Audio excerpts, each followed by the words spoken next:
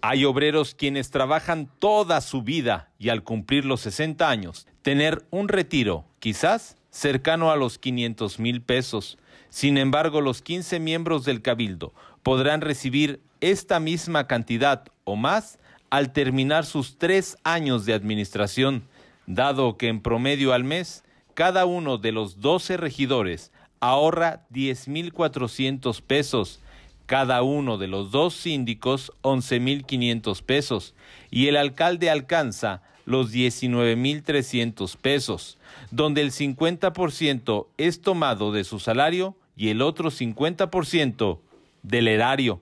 explicó Erika Cruz Soria, oficial mayor de Presidencia Municipal de Celaya. Sí, mira, existe un acuerdo donde eh, lo que son todo el ayuntamiento se hace una aportación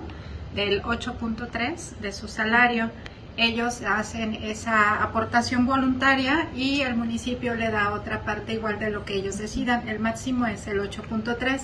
En este caso, todos por unanimidad decidieron que si se les estuviera este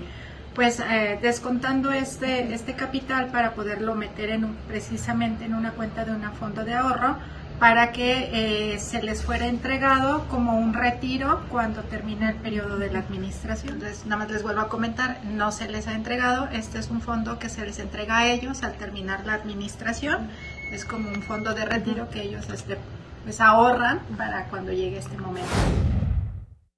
De acuerdo con los datos de la Oficialía Mayor, en el primer año de gobierno, los 12 regidores llevan un ahorro de 61.306 pesos, mientras que los dos síndicos ya tienen 68.116 pesos y el alcalde la cantidad de 120.276 pesos, misma cantidad que se tomaría del erario para crear el fondo de retiro y que recibirán al terminar la administración municipal en el 2024.